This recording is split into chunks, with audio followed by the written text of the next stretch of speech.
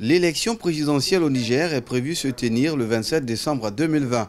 Dans la course au fauteuil présidentiel, l'ancien chef de la junte de 2010 et candidat du parti PJP Génération Doubara à la présidentielle, général d'armée à la retraite et en sa qualité d'ancien chef d'État, il a débuté sa campagne par une forte promesse faite à ses militants, celle de guérir le Niger de ses maux. Et si j'ai choisi et convaincu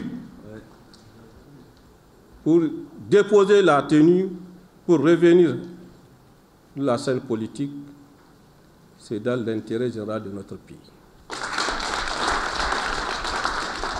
C'est le sens du devoir. Le Niger, c'est ma boussole. Son ambition pour le Niger, il la résume dans son programme de société. Il promet entre autres de garantir aux Nigériens une paix durable, de réformer les institutions, de combattre la corruption et mieux gérer les ressources financières du pays, de rebâtir un système éducatif performant avec un accent sur l'éducation de la jeune fille, de diversifier le potentiel économique et de créer un État solidaire.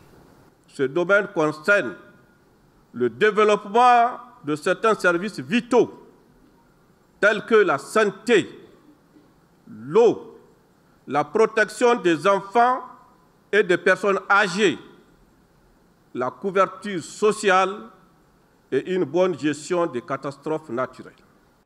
Pour rappel, Salou Djibo est ce chef de la militaire qui avait renversé le défunt président Mamadou Tandja le 18 février 2010.